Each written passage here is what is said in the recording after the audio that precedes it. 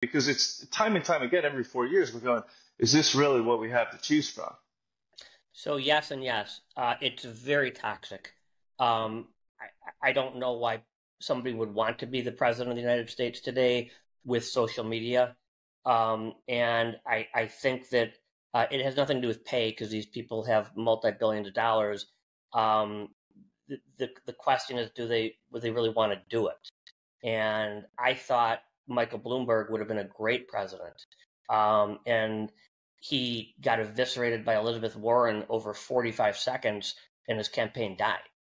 And he's just not used to being spoken to like that. And, you know, so he's not he's not a politician, which I think is a good thing. I think he would have made a great president. I think Romney would have made, made a great president.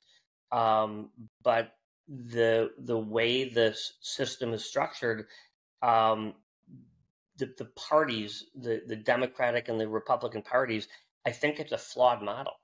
And I don't think we can have an independent yet. Uh, we're not ready for that.